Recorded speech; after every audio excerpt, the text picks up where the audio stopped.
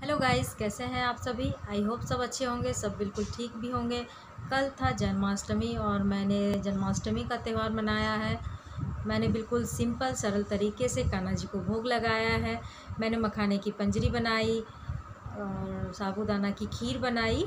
और जैसे हमारे यहाँ हर साल मनाया जाता है, बिल्कुल मैंने उसी तरीके से किया है। तो शायद आप लोगों ने भी मनाया होगा।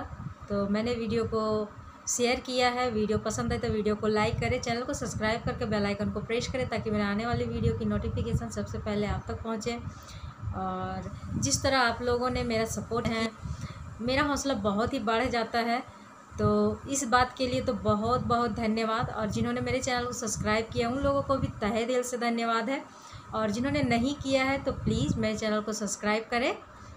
तो चलिए फिर मैं आपको पूजा की विधि दिखाती हूँ। तो सबसे पहले मैंने यहाँ पे एक थाली में भोग सजाया है इस तरह सारे कटोरियों में। तो मैंने चना, साबूदाना खीर, मखाने की पंजरी, बतासे, गुड़, आचमन, नारियल लड्डू, बेसन लड्डू, पेड़ा मिश्री चावल और ये सारे मैंने एक थाली में सजा दिया है इस तरीके से। और फिर मैं ऐसे छोटे वाले कटोरे में मैं तिल, चंदन, जनेऊ, रोली और इस इस वाले थाली में मैंने सारे फल सजा करके रखे हुए हैं। कान्हा जी के लिए बाँसुरी, खीरा, यहाँ पे खीरा सबसे ज़्यादा ज़रूरी होता है इस वाले पूजे में। और ये सब सारे मैंने तैयारी करके रखे हैं। यहाँ पे मैंने कृष्ण राधा की एक फ़ोटो रखी है और एक कान्हा जी की, मेरे छोटे से कान्हा जी की मूर्ति मैंने रखी है यहाँ पे। तो बस सबसे पहले यहाँ पे कान्हा जी को कटोरी में रख के और इनको स्नान करवाना है। तो यहाँ पे पंचामृत से इन्हें स्नान करवाना है। तो पहले मैं यहाँ पे दूध डाल रही हूँ। फिर मैं इसमें दही डालूँगी।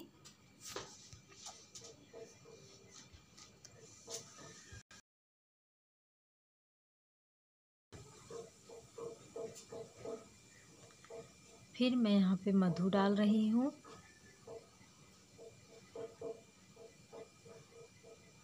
फिर घी और थोड़ा सा शक्कर। फिर थोड़ा सा इसे मिला दें, मिला करके ऐसे फिर पानी से स्नान करवाना है, गंगा जल ले। स्नान करवाने के बाद फिर हल्के कपड़े से अच्छे से पोछ कर फिर इन्हें आसन ग्रहण करवाना है। मैंने इस तरह का एक चौकी लिया है, उसमें मैंने पीला वस्त्र लगाया है, फिर मैं उन्हें आसन ग्रहण करवा दी। और फिर मैं इसमें लगा रही हूँ चंदन, फिर तुलसी के पत्ते।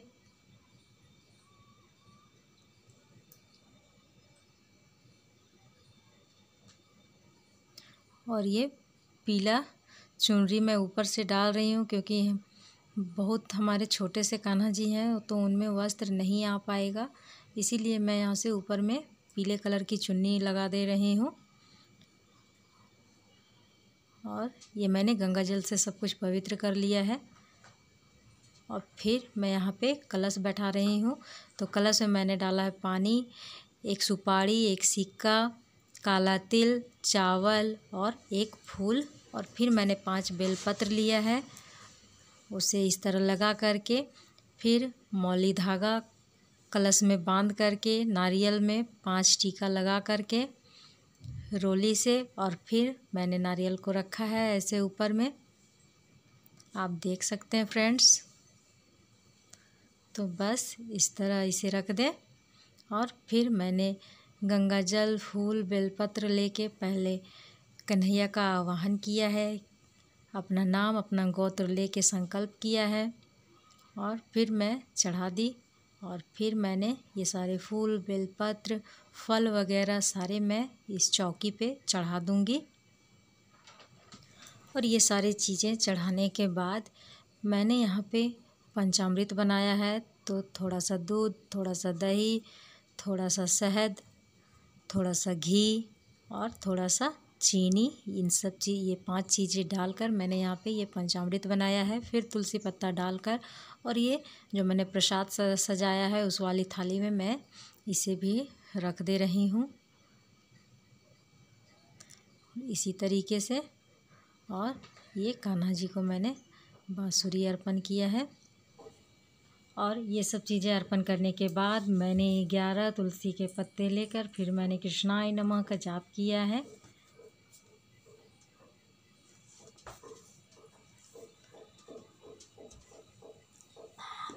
और फिर ये मैंने सारे फल रख दिए हैं।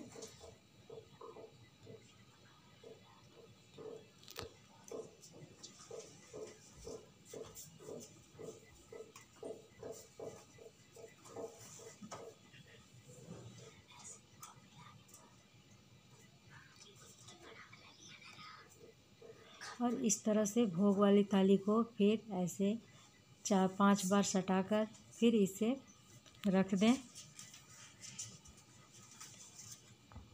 फ्रेंड्स, ये मैंने आप अपने तरीके बताए हैं। जैसे मैं आप, पूजा करती हूँ, वो मैंने आप, आपके साथ शेयर किया है। आप किस तरह करते हैं? अगर इसमें कोई मिस्टेक है तो प्लीज़ आप कमेंट करके ज़रूर बताइएगा। तो फिर इस तरह जल घुमाकर तीन बार, और फिर ये आचमन करते हैं। और फिर मैं यहाँ पे कर लूँगी आरती। फिर आरती कान्हा जी को लगाने के बाद फिर मैं सारे घर में आरती घुमाकर फिर सबको मैंने आरती दिखा दिया था। और इस तरीके से आप आरती लगा लें। धूप, दीप, अगरबत्ती, कपूर दिखा, लगाकर फिर आरती लगा लें। और आरती लगाने के बाद मैंने यहाँ पे सारे घर में भी आरती दिखा दिया था और सारे मेंबर को भी मैंने आरती दिखा दिया था। और यहाँ पे मैं सारे घर में चली गई हूँ आरती दिखाने के लिए।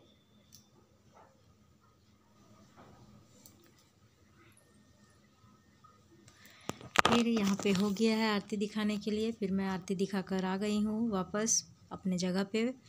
और यहाँ पे मैं थोड़ा सा धूप दिखा दे रही हूँ। और फिर यहाँ पे पूजा हमारा कंप्लीट हो गया है। मैंने प्रार्थना किया, याचना किया, क्षमा याचना किया। बस क्षमा याचना करने के बाद ये हमारी पूजा कंप्लीट हो गई है। फ्रेंड्स, आपने किस तरह पूजा किया है आप कमेंट करके मुझे ज़रूर बताना।